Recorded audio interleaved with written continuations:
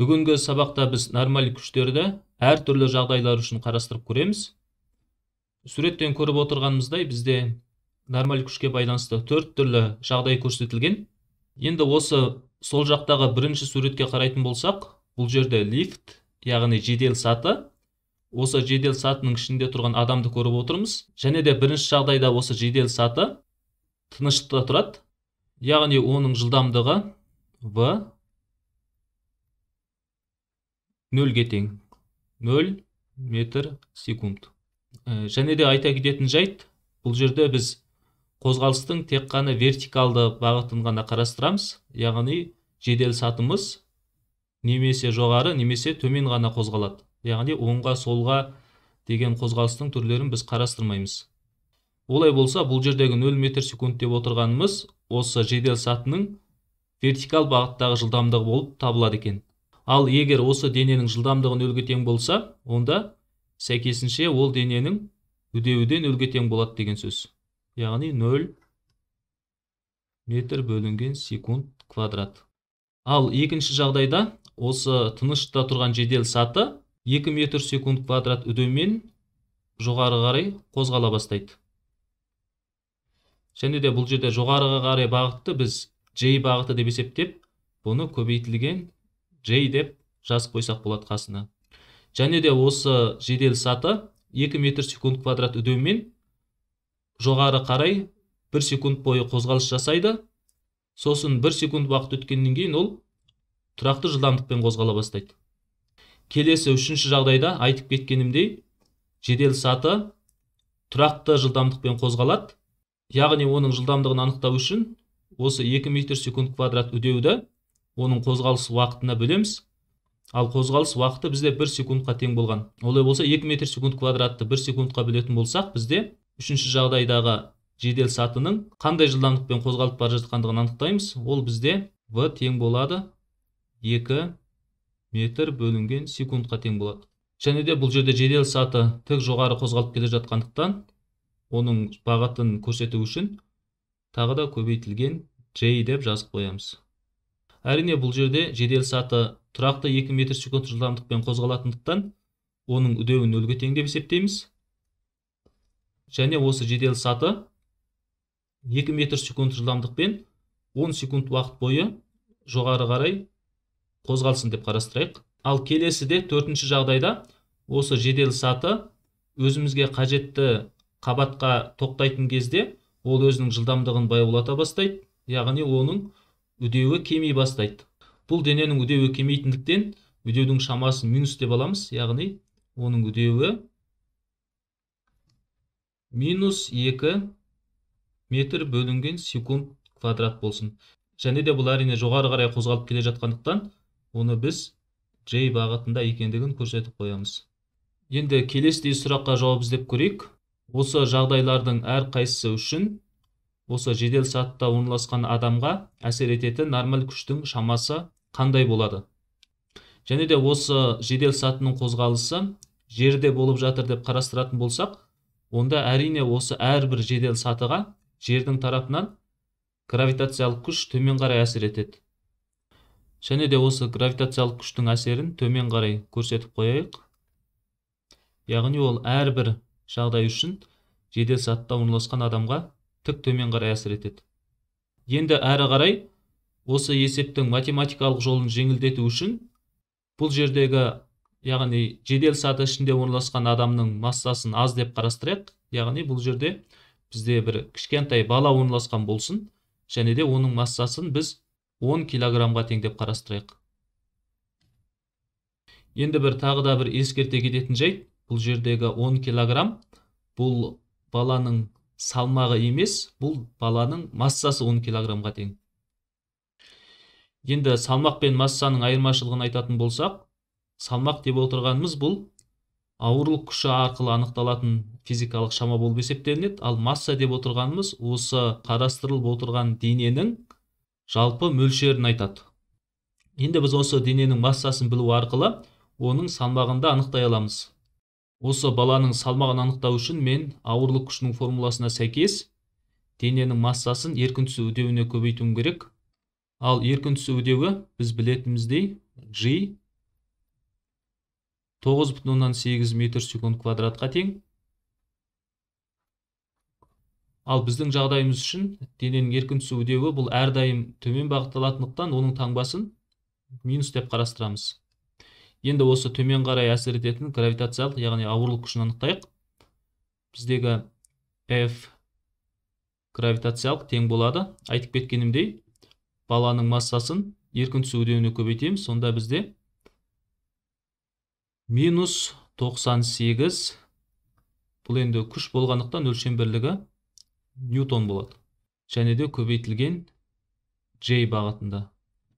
Егер осы жедел сатыға тек қана гравитациялық күш қана әсер ететін болса онда гравитациялық күштің әсерінен осы жедел сатыда және жедел сатының ішінде орналасқан балада төмен қарай яғни жердің центріне қарай қозғалып кететін еді. Өйткені гравитациялық күш жедел сатыны төмен қарай тартады. Ал біз өмірде байқайтынымыздай жедел сатының төмен қарай қозғалып кетпейтін себебі бұған қарама қарсы бағытта әсер ететін күш бар және де осы жағдай үшін гравитациялық күшке қарама қарсы бағытта әсер ететін күш бұл нормаль күші болып табылады. Және де ол осы гравитациялық күшке қарама қарсы бағытталған яғни тік жоғары бағытталады.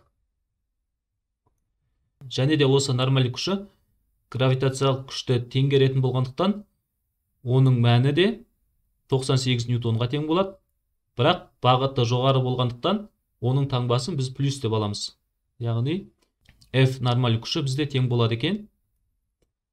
98 ньютон J бағытында.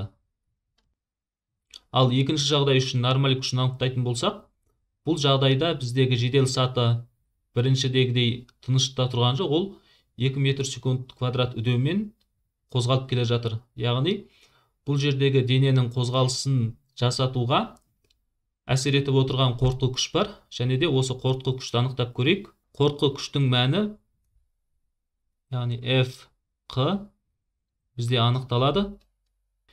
Дененің массасын оның үдеуіне көбейтуіміз керек.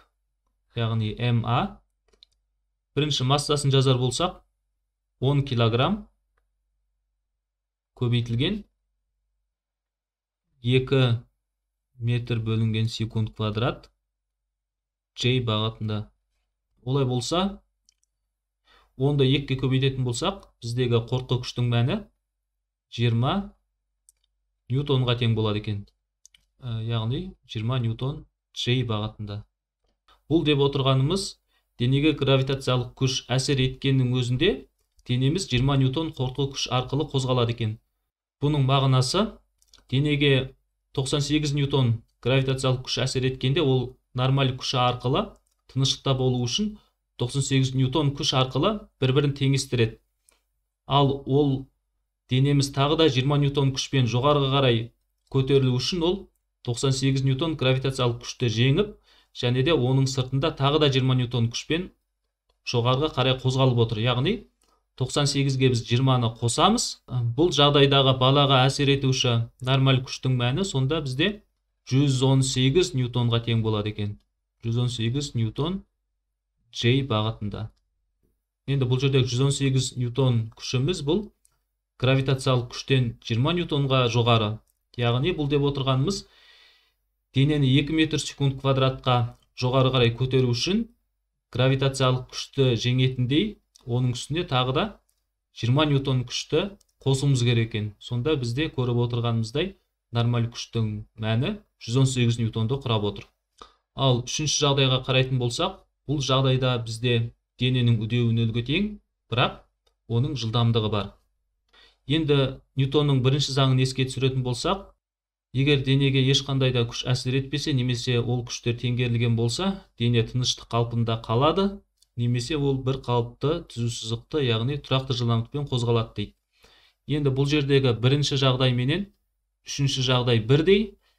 Бірінші жағдайымызда да үдеу нөлге тең яғни бұл жерде дене тыныштықта тұр. Ал екінші жағдайда дене бір қалыпты түзу сызықты қозғалып келе жатқанымен бұл жағдайда оның үдеуі нөлге тең. Яғни бұл ньютонның бірінші заңына сәйкес екеуі де бірдей құбылысты сипаттайды. Және де біз өзімізді елестететін болсақ тыныштықта тұрған лифттің ішінде және де бір қалыпты түзсіздікті қозғалып келе жатқан лифттің ішінде. Екі жағдайда бізде қозғалыс бірдей болып есептелінеді. Өйткені біз тынышта тұрған жағдайда денеге ешқандай ол үдеумен қозғалмайтын болса біз оны бір қалыпты тұзсыздықты қозғалып келе жатыр деп сезіне аламыз. Сондықтан да бұл бірінші жағдаймен ұқсас болғандықтан бұл жағдайда да денеге әсер етуші нормаль күш бізде жоғары қарай бағытталған әрине және де оның мәні 98 ньютонға тең болады екен яғни J бағытында. Енді соңғы жағдай бұл жерде біз өзіміз тұратын қабатқа келіп жеттік және де жедел саты бізде тоқтауға дайындалып келе жатыр. Сәйкесінше үдеуі минус 2 метр секунд квадратқа тең. Енді осы жағдай үшін біз қорытқы күштің шамасын анықтап алайық. F қорытқы күш бізде тең болады. Дененің массасын яғни 10 килограммды көбейтеміз оның үдеуіне. Бұл жерде үдеу минус 2 метр бөлінген секунд квадрат J бағытында. Көбейтетін болсақ бізде шығады минус 20 ньютон J бағытында. Енді осы денеге төмен қарай әсер ететін гравитациялық күш бар. Ол бізде минус 98 ньютон есептеп қойғанымыздай. Және де ол егер тынышта орналасатын болса оған қарама қарсы әсер ететін нормаль күш бұл 98 ньютонға тең болар еді. Бірақ бізде бұл жағдайдағы қорытқы күш минус 20 ньютон болғандықтан екінші жағдайда біз оң таңба шыққандығы үшін 98-ге 20-ны қосқан болсақ бұл жерде қорытқы күштің таңбасы минус болғандықтан біз 98 ньютоннан 20 ньютон шаманы алып тастаймыз сонда. Осы жағдайдағы балаға әсер ететін нормаль күші бізде 78 ньютон J бағытында болып табылады екен. Енді осы жағдайларды біз шынайы өмірде жедел сатыға отырған кезде де сезіне аламыз. Яғни бірінші жағдайда біз жедел саты тынышта тұрған кезде біз өзімізді өмірде қалай сезінеміз? Яғни массамыз қандай? Тура сондай салмақ бізге әсер етіп отыр.